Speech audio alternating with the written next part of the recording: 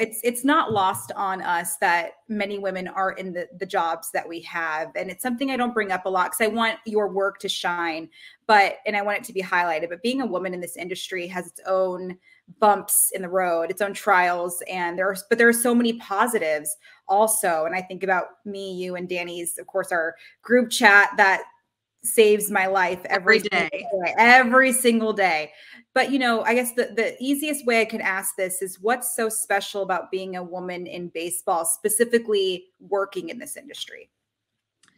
We have access that people will never ever have period. It, I, I don't care how nice of a guy you are it does not it's just a biological understanding between the two that we have an ability to emote on a different level. And i think that's a very special thing to to realize and and to take advantage of and to hone. And um, I've, I've had players come up to me in the past that have said you know i know at some point you're going to want to talk about my my swing adjustment or my numbers and stuff like that but it's also nice knowing that the first thing and this was something that Chirinos would remind me a lot of last year is you start with good morning or good afternoon and you ask how their family's doing or you ask how they're doing or you mention you give them a human piece for a moment because they're not these numerical transactions mm-hmm. that they mm-hmm. would appear to be on paper um, and i think there's a level of knowing that they can sit down with you and and i'm not saying this is just across the board you have to cultivate trust you have to cultivate yeah. that respect between them but they also know that there's going to be a little more of that human capacity there. And, and, that's exactly why I sat down with James McCann yesterday. We had no discussion prior to it, it was a live interview, and just getting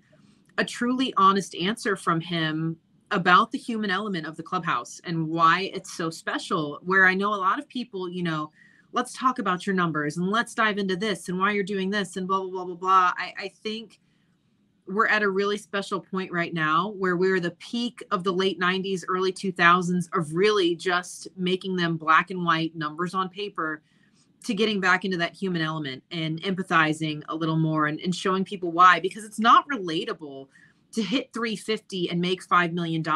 Fans don't get that, especially in today's economy when you're dealing with inflation and everything else. Mm-hmm. That's where you can have that disconnect. But you remind them these guys have struggles. You know, they bleed the same way we do. They've been through life events that have shaped them. Um, and I think when you find that, that ability to have common ground, that's where you hear fans rooting for these athletes because there's something in them that they recognize or they appreciate and they want to emulate.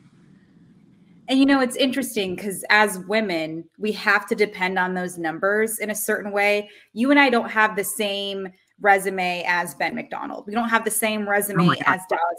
Yeah, as Dallas Braden. So I can't sit there and say I completely understand what you're talking about in the form as it pertains to playing. Our resumes will forever be different. I will never step foot on a major league baseball field as a player, period, no matter what I do.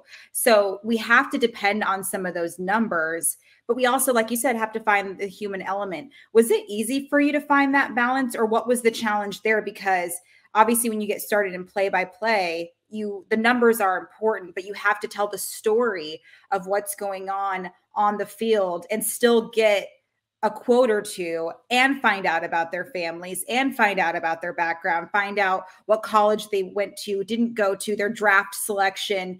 It's a lot to balance. Was that easy for you or did you find a rhythm or what was that trans- uh, transition like? Yeah, I've, I've always been the the human side of things. I think that started when I was in high school. And ironically enough, I get that from my dad, just being wired in, in a heart first. I think that's everybody's one or the other. You know, you're either logically wired or you're emotionally wired. And that was it for me. And I always wanted to understand what they were going through and what they were feeling in that moment more than anything else. I understood the rules, but you know, what's behind the person who's making those plays ultimately happen.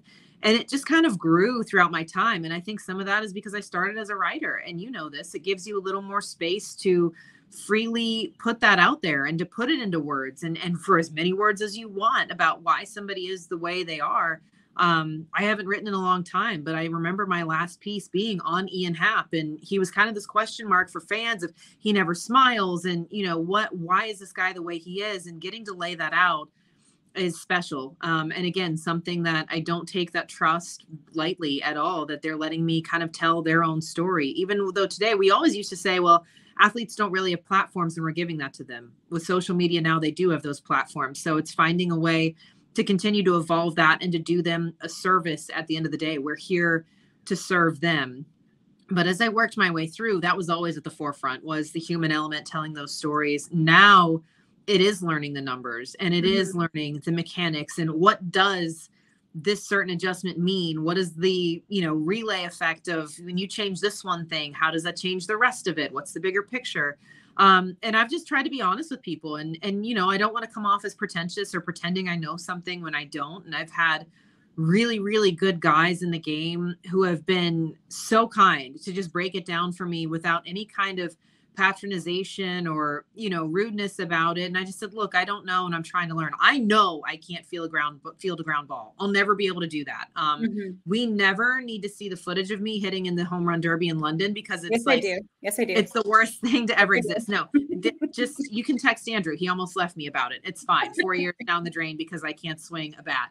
Um but you know i just i just kind of you walk up and and chris young last year was one of the best analysts i could have ever had because you hear glove side, arm side a lot. Oh, he's missing a lot on his glove side, or he's really heavy on his arm side today. And I said, you know, I just, I need you to break this down for me for a minute because I'm just having trouble making sure I fully understand it. And I never want to use a term incorrectly, right? Um, especially on air. And just having that ability, you know, Ben McDonald the other day, I said, I'm having a brain fart right now. Reverse splits. Is that left on left or left on right? Like, is right. it opposite or same side? And he he took no issue with it because I'm just laying my cards on the table saying, Hey, I'm having a day. You know, walk walk me through a term real quick so that I make sure I understand what's going on. And some people say, you know, oh, that's so stupid. And how did she get into the big leagues if she doesn't understand this? You have to grow from some point. And I just don't think lying or pretending about it and then getting it wrong and then fans are now miseducated is the way to do it. You have to have an ounce of humility and going, you know what? I'm waking up stupid today, but I'll be a little smarter by the time I go to bed. Yeah. And and here's the thing, we're we have to do right by them too. So if we don't double up on the question, we're both screwed. But you know who was always amazing about it? I know you're gonna have my back on this is is pitcher Cole Irvin. He um, is not only a wonderful human being, but he's engaged to Kristen, who is a broadcaster reporter for NBC Sports. And I remember the last day of last season, of course, this is before he was traded. I pulled him aside and I just said, thank you, you know, because I like he would use a lot of these terms that weren't just baseball slang, but the way he was describing some of his pitches that were working and weren't. I said, what do you mean by this? And what do you mean by that? And he would just break it down for me without skipping a beat, without making me feel yeah. stupid.